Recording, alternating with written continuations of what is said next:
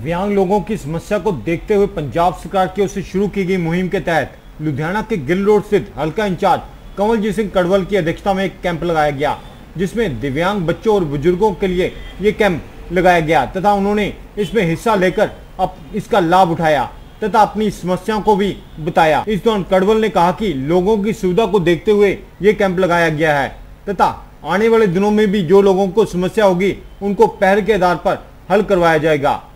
Congress party ਦਾ ਜਿਹੜਾ ਲੋਕਾਂ ਦੇ ਵਿੱਚ ਬਹੁਤ ਰੁਝਾਨ ਆ ਤੇ ਉਤਸ਼ਾਹ ਤੇ ਉਹਦੀ ਜਿਹੜੀ ਮਿਸਾਲ ਆ ਆ ਥੋੜੇ ਦਿਨ ਪਹਿਲਾਂ ਜਿਹੜੀ 40000 ਵੋਟਾਂ ਦੇ ਜਿੱਤ ਆ, ਉਹਦੀ ਇੱਕ ਮਿਸਾਲ ਆ।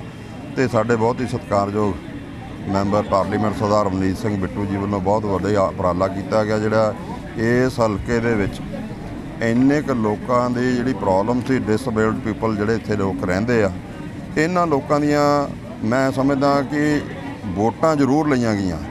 ਪਰ ਇਹਨਾਂ ਨੂੰ ਅੱਜ ਤੱਕ ਕਿਸੇ ਨੇ ਸਹੂਲਤ ਨਹੀਂ ਦਿੱਤੀ। ਤੇ ਜਿਹੜੇ ਆਪਦੇ ਆਪ ਨੂੰ ਪੰਜਾਬ ਦੇ ਨਾਇਕ ਕਹਾਉਂਦੇ ਆ, ਅੱਜ ਉਹਨਾਂ ਨੂੰ ਇੱਥੇ ਆ ਕੇ ਦੇਖਣਾ ਚਾਹੀਦਾ ਵੀ ਜਿਨ੍ਹਾਂ ਦੀਆਂ ਅਸੀਂ ਵੋਟਾਂ ਲੈਂਦੇ ਹਾਂ, ਉਹਨਾਂ ਦੇ ਪਰਿਵਾਰਾਂ ਦੇ ਹਾਲਾਤ ਕੀ ਨੇ। ਸ਼ਰਮ ਆਉਣੀ ਚਾਹੀਦੀ ਹੈ ਉਹਨਾਂ ਨੂੰ, ਉਹ ਆਪਦੇ ਆਪ ਨੂੰ ਕਹਿੰਦੇ ਆ, ਸਾਡੇ ਜਿੱਡਾ ਕੋਈ ਵੱਡਾ ਸੇਵਾਦਾਰ ਹੀ ਕੋਈ ਨਹੀਂ। ਸੋ ਅੱਜ ਮੈਂ ਸਮਝਦਾ ਕਿ ਇਹ ਐਮਪੀ ਸਾਹਿਬ ਦੀ ਬਹੁਤ ਵੱਡਾ ਉਪਰਾਲਾ, ਜਿਹੜਾ ਲੋਕਾਂ ਨੂੰ ਏਡੀ ਵੱਡੀ ਸਹੂਲਤ ਮਿਲਣ ਜਾ ਰਹੀ ਆ। ਤੁਸੀਂ ਆ ਦੇਖੋ ਕਿੰਨੇ ਲੋਕ ਅੱਜ ਸਵੇਰੇ 7 ਵਜੇ ਇੱਥੇ ਆ ਕੇ ਬਹਿ ਕੇ ਕਿੱਡੀ ਮੈਂ ਖੁਸ਼ੀ ਨਹੀਂ ਕਹਿਣਾ ਬਦਕਿਸਮਤੀ ਆ ਵੀ ਲੋਕਾਂ ਨੂੰ ਕਿੰਨਾ ਪਰੇਸ਼ਾਨੀਆਂ ਦਾ ਜਿਹੜਾ ਸਾਹਮਣਾ ਕਰਨਾ ਪੈ ਰਿਹਾ।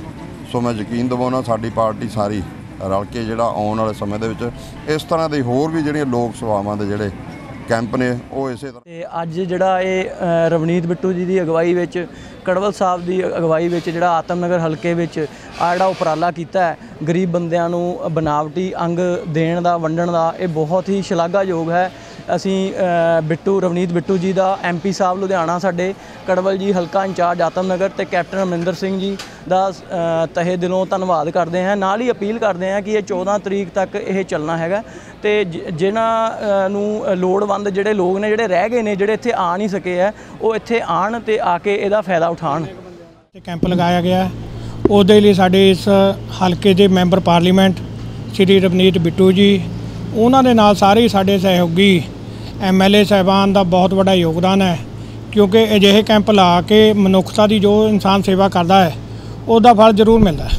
ਪਰ ਸਾਡੀ ਪਾਰਟੀ ਨੇ ਕੈਪਟਨ ਅਮਰਿੰਦਰ ਸਿੰਘ ਜੀ, ਮੁੱਖ ਮੰਤਰੀ ਸਾਹਿਬ ਦੇ ਆਦੇਸ਼ਾਂ ਦੇ ਮੁਤਾਬਕ ਜਿਵੇਂ ਬਿੱਟੂ ਜੀ ਲਗਾਤਾਰ ਚਾਹੇ ਉਹ ਸਾਡੇ ਪਹਿਲਾਂ ਰੋਪੜ ਹਲਕੇ ਤੋਂ ਰਹੇ ਨੇ ਮੈਂਬਰ ਪਾਰਲੀਮੈਂਟ, ਉਹਨਾਂ ਨੇ ਹਮੇਸ਼ਾ ਆਪਣੇ ਇਲਾਕੇ ਦੇ ਵਿਕਾਸ ਦੀ ਗੱਲ ਕੀਤੀ ਹੈ।